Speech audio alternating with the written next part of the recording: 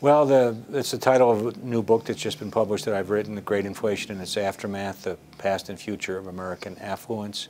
And in the book, I argue that the rise and fall of double-digit inflation uh, was the most important economic event of the last 50 years. Um, some of the consequences of the rise of double-digit inflation, inflation went from uh, about 1% to about, in 1960 to about 13% in, uh, in 1979 and 1980. Uh, one of the consequences was the election of Ronald Reagan because Americans at the end of the 70s were so upset with inflation that they essentially kicked Jimmy Carter out of the White House. Uh, some of the uh, consequences of the decline of inflation, disinflation, inflation went from about 13% uh, in 1979 uh, and 1980 to 4% in 1983 and down to 1% in 2001. Uh, some of those consequences including the stock market boom, real estate boom, consumer spending boom, and I think uh, ultimately the, the financial crisis that we're having now because people became conditioned by uh, stock prices and real estate prices that just constantly seemed to go up. And so they got very careless and complacent. And the consequences of that carelessness and complacency is what uh, we're seeing now in the current financial crisis.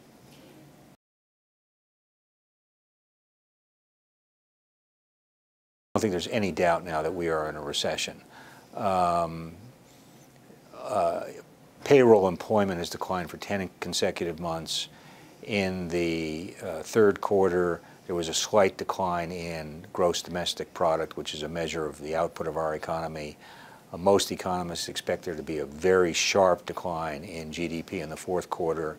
Uh, you're seeing large-scale layoffs. You're seeing substantial declines in sales. Uh, General Motors sales for October were down 45 percent. Uh, Best Buy has predicted that its sales in the next uh, four months will go down 5 to 15 percent.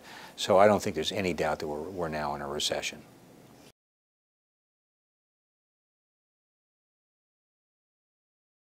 Well, I don't think that they should be hysterical uh, and uh, in their anxiety. I think they should be prudent. Um, I think that they, you know, they should go out and buy the presents they can afford, and uh, they shouldn't they shouldn't go on a shopping spree if they can't afford it. But I don't think that uh, consumers should either be overconfident or underconfident. They again, I think they should be should be prudent and self-restrained.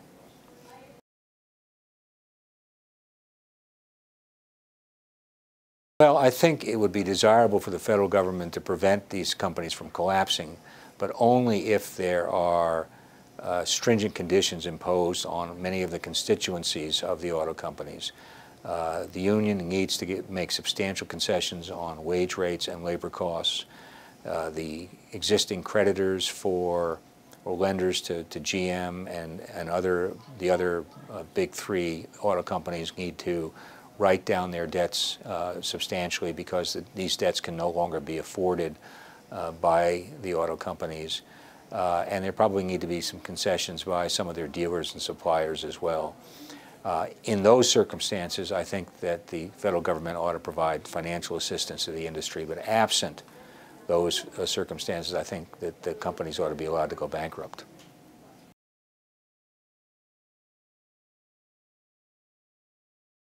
Well, that is a good question, and um, I, I really don't know the answer to that. I think that he will, the, the, the thing he needs to most do is he needs to create a, um, a climate of confidence. I do think he will introduce, as he has said he would, a substantial stimulus package, economic stimulus package, which will be designed to prevent the recession from becoming too severe by temporary increases in spending for infrastructure, roads, sewers, uh, the like, uh, and possibly some tax cuts as well. And I think in, for, as a temporary measure, these are justified, and they could help the economy get through a very um, rough spot.